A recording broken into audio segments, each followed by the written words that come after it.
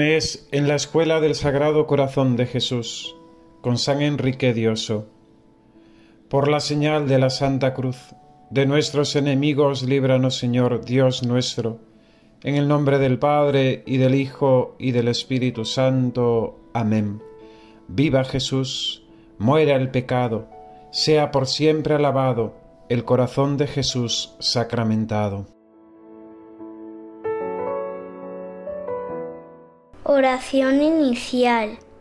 Yo te adoro, corazón sacratísimo de mi Jesús, y te amo con todo mi corazón, con toda mi alma y con todas mis fuerzas, y me pesa de haberte ofendido, porque eres bondad infinita y me amas con inmenso amor. En ti, corazón sacratísimo, están reunidas todas las maravillas de la naturaleza, de la gracia y de la gloria, todas las virtudes y dones esparcidos por todas las criaturas, todos los tesoros de la sabiduría, bondad, ternura y ciencia de Dios. Tú eres el huerto cerrado, el horno de fuego, el arca de Dios la vara florida, el maná del cielo, la fuente de todas las gracias y consuelos, las delicias de la Beatísima Trinidad, de tu corazón amantísimo, oh Jesús mío, recibieron el celo los apóstoles, la sabiduría los doctores, la pureza las vírgenes la fortaleza los mártires, la paciencia los confesores, la victoria los tentados, el valor los débiles, la alegría los ángeles, el terror los demonios, la gloria el mismo Dios. Bienaventurado el que te ama, te honra y te sirve porque tiene escrito su nombre en tu divino corazón. Oh corazón santísimo de Jesús, da lumbra a mi entendimiento y afectos ardorosos a mi corazón, para que aprenda en esta tu escuela la virtud del sacrificio y sobre todo tu mansedumbre, humildad e inmensa caridad y que conozca y haga en todas las cosas tu santísima voluntad. Oh corazón inmaculado de María, santos, ángeles y justos del cielo y tierra, prestadme vuestros encantos amorosos para honrar y desagraviar debidamente al Dios de mi corazón y al corazón de mi Dios. Amén.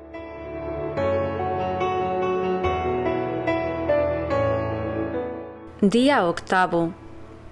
Sentimientos del corazón de Jesús en su vida oculta en Nazaret. Composición de lugar. Ver a Jesús, joven gallardo, crecer en gracia, edad y sabiduría en la casita deliciosa de Nazaret, pequeña, aseada, trabajando, orando y obedeciendo a María y a José. Petición. Revísteme, oh corazón de Jesús, de tus sentimientos y afectos en la casita de Nazaret. Punto primero. Otra vez se nos ofrece un misterio a nuestro entender y juzgar incomprensible y hasta disparatado. ¿Cómo es esto? ¿No baja el Hijo de Dios del cielo a la tierra y se hace hombre para salvar al hombre enseñándole el camino del cielo? ¿Cuántos años ha de vivir sobre la tierra? 33. ¿Por qué, pues, pasa 30 años oculto en un rincón del mundo, en trabajar de carpintero, en una modesta tienda, oficial de un pobre hombre y desconocido? ¿Es que se ha olvidado de su misión divina? Esto discurre la razón humana, mas no es esta la razón divina. Cristo bajó a enseñar el camino del cielo, es cierto, y nadie más que Él ha podido decir a la faz del mundo con toda verdad, Yo soy el camino, la verdad y la vida. Mas hay dos modos de enseñar, con el ejemplo y con la palabra. El primero es el más importante, único, necesario, el más digno de Dios. Y esto es lo que hace el Hijo de Dios. Empezó por obrar y después vino el enseñar. había de decir a los hombres todos, Aprended de mí, que soy manso y humilde de corazón. Y era preciso probarlo con el ejemplo. Había que enseñar a todas las generaciones la obediencia, la sumisión, el respeto a los padres y superiores, el amor al trabajo y el cumplimiento exacto de los deberes propios de su estado y condición, y esto enseña con el ejemplo, que es la lección más eficaz a todos los siglos, a todas las generaciones. Quien esto hace por treinta años seguidos, ¿nada hace para enseñar a las gentes el camino del cielo? ¿Por ventura no es esta la única enseñanza verdadera, propia y eficaz? ¿No se perdió el hombre y no se ha perdido y pierde hoy el mundo por mucho hablar y poco obrar? Mucho charlatanismo, mucho ruido de palabras, muchos doctores teóricos, muchos libros, muchas disputas. Pero las obras buenas, ¿dónde están? Palabras, palabras, palabras. Solo da y dice el hombre para salvar el mundo, la sociedad. Y Cristo Jesús, verdadero Maestro y Salvador del mundo, había de decir con su ejemplo, obras, obras, obras para que se creyese después de su palabra. No todo el que dice Señor, Señor entrará en el reino de los cielos, sino el que hace la voluntad de mi Padre Celestial. Oh alma mía, entra con gran respeto en la casita de Nazaret, penetra en los sentimientos del corazón de Jesús y oirás esta palabra al contemplarle obediente a María y a José, orando y trabajando en los más humildes oficios y faenas de casa y de casa pobre. Aprende de mí que soy manso, humilde, obediente de corazón. Aprende de mí a cumplir tus deberes de hijo, de súbdito, de superior.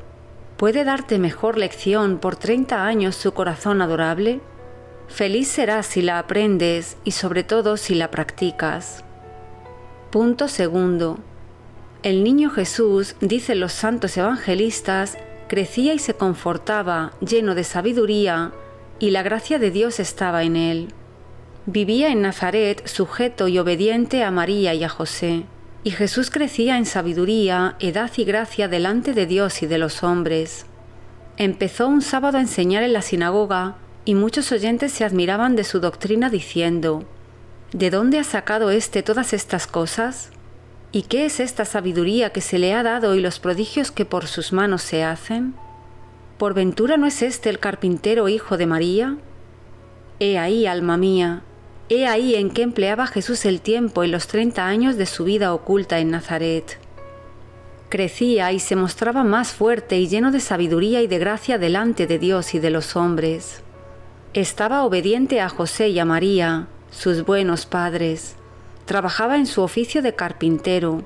Era nazareno, esto es, santo en pensamientos, palabras, obras y deseos.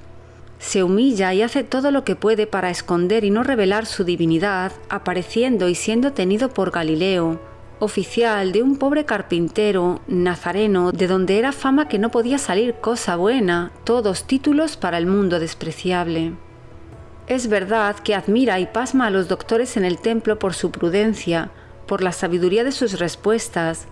Es cierto que sus primeros oyentes en la sinagoga de su pueblo se admiran y no saben darse cuenta de su sabiduría y de su virtud, considerándolo como carpintero, hijo de María e hijo de un carpintero. Se admiran, mas no se convierten, no se les descubre el misterio de su divinidad. Descorre algo la punta de este velo, mas no se le deja entender. A la manera que al asomar los primeros rayos de sol sobre el horizonte que ilumina algunas cimas de los más elevados montes, admiramos su claridad, mas no se nos descubre, así el Hijo de Dios en estos casos.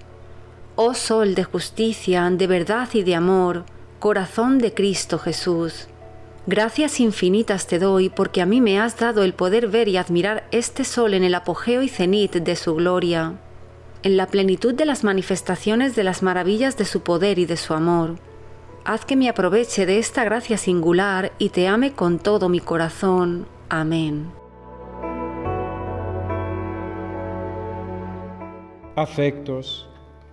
Oh corazón de Jesús obedientísimo, Examino mi corazón y al compararlo en este paso con el tuyo lo veo perdido. Yo tan amigo de darme a conocer y de que me alaben, y tú, Jesús mío, tan enamorado de la oscuridad. Yo a veces mintiendo o exagerando para darme tono y aire y aparecer lo que no soy. Y tú, Jesús divino, ocultando lo que eres. Yo buscando siempre directa e indirectamente las alabanzas, la gloria, el aire popular. Y tú, Jesús dulcísimo, huyendo de los aplausos de la plebe. Yo, mas en todo soy lo opuesto a Jesús. Oh mi adorado Jesús. Si tomando en vuestras manos mi corazón como en otro tiempo la moneda del César me preguntaseis, ¿de quién es esta imagen e inscripción? ¿Qué podría, qué debería responderos? ¿Por ventura es imagen de Cristo de vuestro corazón adorable? No, que Cristo es manso y humilde de corazón, y yo soy orgulloso e iracundo de corazón. Cristo es paciente, sufrido, obediente, lleno de gracia, abrasado en caridad, y yo soy impaciente, mal sufrido, desobediente, amigo de hacer mi voluntad, lleno de miserias y pecados, consumido de la envidia, corroído del amor propio. ¿De quién es la inscripción que llevo impresa en mi corazón? ¿Quién y qué hay grabado en él que se ve por todo el mundo por la manifestación de sus obras? ¡Ay, dolor! todo lo contrario de lo que lleva el corazón de Cristo Jesús. Con mis palabras y con mis obras voy diciendo a todo el mundo, aprended de mí el orgullo, la sensualidad, el egoísmo, todas las vilezas. Y Jesús con sus palabras y obras me repite a cada instante, aprende de mí que soy manso y humilde de corazón, lleno de gracia, de verdad y de caridad, y hallará paz tu alma. Oh alma mía, yerras, yerras andando por este camino.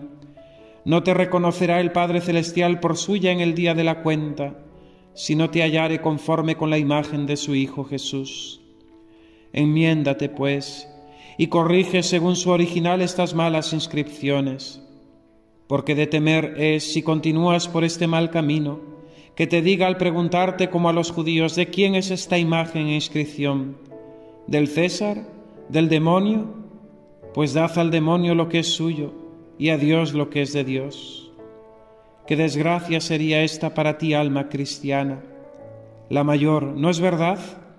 Pues enmiéndate con tiempo y revístete de los afectos y virtudes del corazón de Jesús, para ser toda de Jesús en vida y por toda la eternidad. Jaculatoria, Jesús mío, haz mi corazón como el tuyo práctica, amar o a lo menos sufrir callando las humillaciones por Jesús. Ejemplo. La profesión religiosa es como un nuevo bautismo. En ella el alma amante de Jesucristo se limpia de toda mancha que le dejaron las culpas pasadas y se desposa con el amado de su alma. Ansiosa estaba la venerable Rosa Serio, novicia de las Carmelitas Descalzas, de que llegara el día de su consagración a Dios por medio de los santos votos. Un día, hallándose sola en el coro durante su fervorosa oración, vio llenarse aquel lugar sagrado de una esplendísima luz. Era la reina de los cielos, llevando en brazos a su divino infante Jesús, acompañada de una multitud de santos. Al verlo, Rosa postróse en tierra y volvió a suplicar a la Santísima Virgen intercediese por ella a fin de que mereciese la gracia de hacer su profesión religiosa. Entonces la reina de los ángeles, volviéndose a Jesús, le dijo, Ahí tienes, hijo mío, a tu rosa, que quiere desposarse contigo. A lo que contestó Jesús, Conmigo se desposará, pero antes quiero que su corazón sea más hermoso. Al instante apareció a la buena religiosa que la Santísima Virgen le sacaba su corazón y lo exprimía para limpiarlo de todas las imperfecciones y defectos que tenía. Y colocando en el pecho de su Hijo Santísimo le dijo, Recibe, Hijo mío, el corazón de tu sierva, tal como está ahora, ya puede ser verdadera esposa tuya. Luego fue restituido a Rosa, que lo sintió totalmente humilde, dulce, paciente y lleno de divino amor Jesús entonces, sacando de su corazón una sortija de inestimable valor, en forma de corazón la puso en el dedo de su sierva y le dijo, Ya te he desposado con las arras de mi amor, mira este anillo en tus trabajos y aflicciones y te hallarás fortalecida. Desapareció la visión, pero el contento de Rosa fue indecible, poniendo en práctica de allí en adelante los consejos de su esposo celestial. Final. Gracias infinitas te doy, Jesús mío de mi alma, porque te has dignado a admitirme en este día a la escuela de tu adorable corazón y por haberme enseñado con tu ejemplo a amar y servir a Dios con todo mi corazón, con toda mi alma, con todas mis fuerzas, mostrándome prácticamente la hermosura de la virtud y la fealdad del vicio. Yo te prometo, con la ayuda de tu gracia, practicar con las obras lo que tú me enseñas con la palabra y el ejemplo, y presentarme mañana al volver a tu divina escuela, escuela del corazón, escuela de amor, muchos actos de vencimiento, de amor, de sacrificio, amándote por los que no te aman, adorándote por los que no te adoran, y glorificándote por los que te agravian.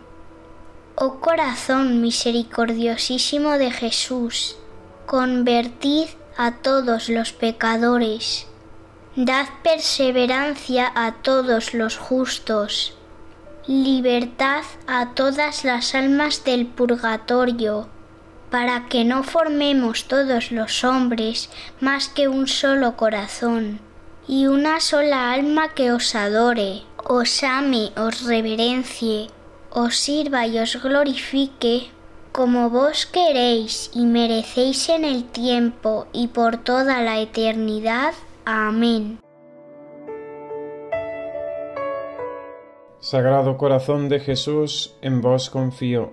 Inmaculado corazón de María, sed la salvación mía. Glorioso patriarca San José, ruega por nosotros.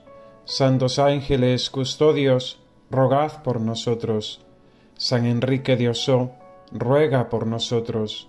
Todos los santos y santas de Dios, rogad por nosotros.